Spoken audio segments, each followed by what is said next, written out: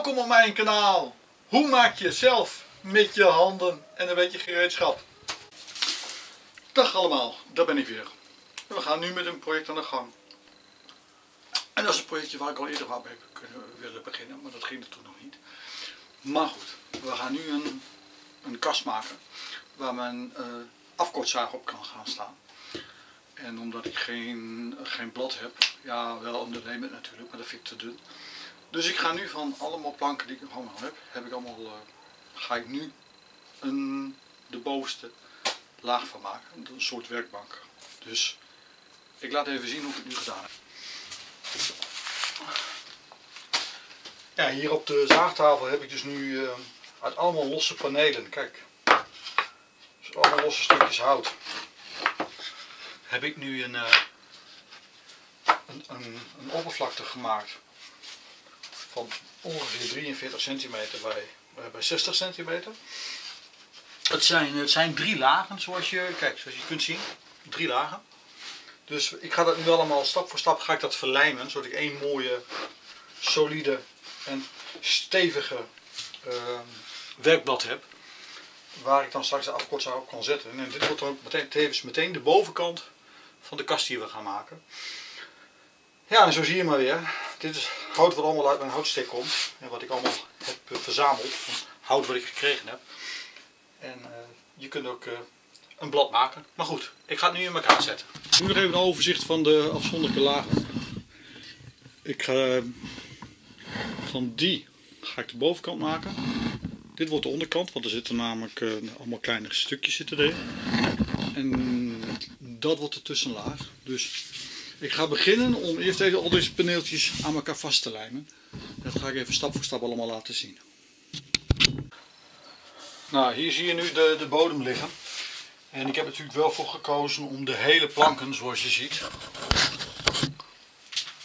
uh, om die gewoon eentje onder en eentje boven te hebben. Ik heb er even wat, uh, wat hout onder gelegd, zodat ik iets hoogte heb.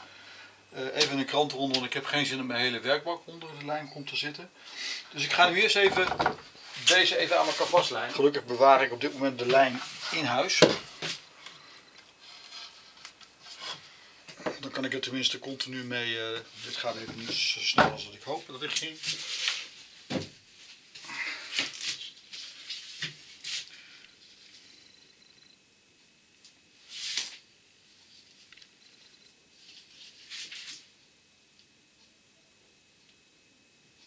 Knip er toch even een klein stukje vanaf. Ik vind dat toch die, die standaard opening ietsjes te fijn is. Ja, kijk. Het is echt ideaal zo'n zo'n lijnbot zoals het heet. Maar je vindt in de beschrijving onder vind je hem wel staan. Ik vind het echt super. Kijk, je kunt hem gewoon zo houden. Je kunt er zo lijm overheen smeren. Geen geschut meer zoals je anders zoals ik vroeger altijd had met, de, met die flessen. Kijk, dit is natuurlijk... Het is wel even een lappendoos. In die zin dat je allemaal stukjes hout hebt en die moet je allemaal aan elkaar vastplakken. Maar ja, wat kan schelen. Zo kun je van resten hout weer uh, van alles nog wat maken.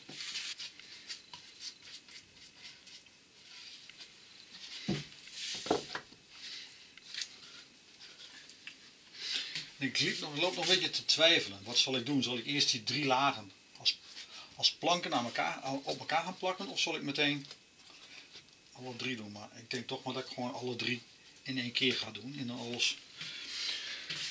Um, ja goed, ga klemmen.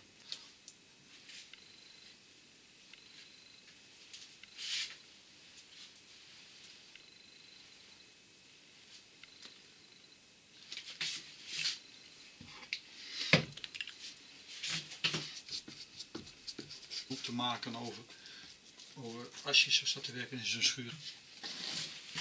Nou, nu ligt, uh, nu ligt deze laag ook helemaal onder de verf. Ach, onder de verf, moet je mij nou horen. Nu gaan we dus de, de zijkanten erop zetten. En ik heb met mezelf afspraak gemaakt. Ik ga één kant mooi recht maken, dat sowieso. Want um, als die nou mooi recht is, Dan kan ik later gewoon op de zaagtafel hem gewoon keurig netjes helemaal recht gaan maken. Dus dat zal natuurlijk geweldig zijn. Kijk, en ook hier zorg ik er weer voor dat dat stukje wat ertussen komt, even tussen. Oh, en nou vergeet ik helemaal wat. Ah, nee hè. Nou vergeet ik helemaal wat. Je hebt het waarschijnlijk al in de gaten. Ik heb die planken er maar gewoon weer opgegooid. Maar er moet natuurlijk weer lijm tussen. Kijk. Zo zie je dat je dus met allemaal restjes houdt. Ook van alles en nog wat weer kunt, uh, kunt maken. En dat je dus niet meteen alles weg hoeft te gooien. Zo bij dit ding, dat, ik hoef al niet meer te schudden. Hè? Dus dat is het voordeel van zo'n uh, van lijnbot. Nou ja, je ziet hem onderin uh, de omschrijving van mijn video zie je hem, zie hem staan. Dus, kijk, dan is hier een stukje hout wat niet zo heel mooi meer is. Deze kant is wat beter. Maar ja, het is toch een laagje wat er tussenin zit. Dus wat maakt het uit? Om het maar even heel plat te zeggen.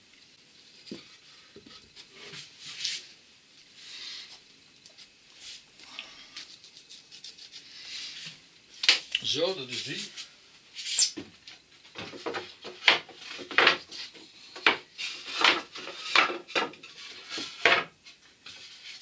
Nou, dit vind ik wel een mooie kant, dus die leg ik er, uh, die leg ik er ook weer netjes op.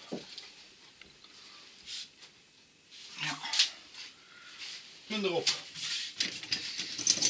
We gaan maar beginnen. Kijk, daarvoor heb ik er dus nu een uh, balkje zonder gelegd, zoals je ziet. Want nu kan ik gewoon makkelijk klemmen er rondomheen zetten.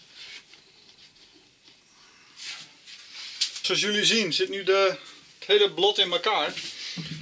En uh, ja, het is natuurlijk, doordat het allemaal resthout is, het natuurlijk altijd wel even behelpen met uh, van alles en nog wat. Maar ja, goed, dat is dan niet anders en dat vind ik ook niet zo ramp. Ik leg hem in de, in de kamer neer en dan uh, kan hij vannacht gewoon mooi drogen. Ik zie nog wel wat imperfecties. Kijk, zoals hier zit een kier, daar zit een kier. Maar ik denk dat ik die morgen gewoon even ga dichtsmeren met... Oh. Ik zet hier nog even wat gewichten op. En dan... Uh... Kijk, dit komt omhoog. Ja, ik heb binnen in de kamer wel gewichten en dan gaan we daar even verder. Nou, ik heb de klemmen erom weggehaald. En uh, zoals je kunt zien zit natuurlijk wel wat, uh, wat, wat, wat gleufjes in. Maar goed, dit is de ene kant. En dat is de, is de andere kant.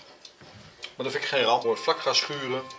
En dan de gaten allemaal opvullen met houtlijm en, en schuur. Poeder. En dan uh, denk ik dat ik dit als bovenkant neem. Uiteindelijk moet natuurlijk de randen even op de, zaagtafel even mooi, mooi recht worden gemaakt. Dat ik een mooi rechthoekig plak, heb. Dus dat is de volgende stap weer. Zo, het werk wat is nu klaar. Ik heb nu de hele kast zelfs twee keer in de polyurethaan gezet. En ik moet zeggen, ik ben heel tevreden. En ook zo'n blad. Het is natuurlijk gemaakt voor de afkortzaag. Maar van al die restjes hout, het heeft ook wel zo zijn charme. En er zit nog wat, uh, kijk het is hier nog wat donkerder en daar nog een beetje donker. Maar goed, ik heb het even afgeschuurd, twee keer in de lak gezet. Ik moet zeggen, uh, ik vind het een goed project. Kijk, het heeft deze, de, dit is de dikte van het hout. En dit is natuurlijk de, de lat van de, van de kast zelf. Dankjewel voor het kijken naar deze video. Ik moet zeggen, ik heb er veel plezier aan beleefd om van uh, allemaal restjes hout uiteindelijk toch het werkblad te maken voor, uh, ja, hoe heet dat? Voor deze, deze kast. Ik heb wel gezien dat als ik het de volgende keer weer doe, dat ik eerst het hout allemaal op dezelfde breedte zaag. Zodat het gewoon wat beter, beter in elkaar past. Maar zoals je in de gaten hebt, je kunt dus vooral als je drie lagen hebt, kun je er een prima werkblad van maken. Het is gewoon een kwestie van wat geduld hebben met passen en meten. En uiteindelijk de stukjes mooi in elkaar leggen, goed verlijmen. En dan komt het dik voor elkaar. Nogmaals, dankjewel voor het kijken. Vond je het leuk? Geef even een duimpje. Als je, het, uh, als je het zou willen doen, zou ik het heel fijn vinden als je even abonneert op mijn uh, kanaal. En je mist natuurlijk geen video als je het ook nog een keer op het belletje drukt. Voor eventuele opmerkingen of wat anders mag je natuurlijk altijd iets in de commentaarbox schrijven. Dankjewel en tot de volgende video.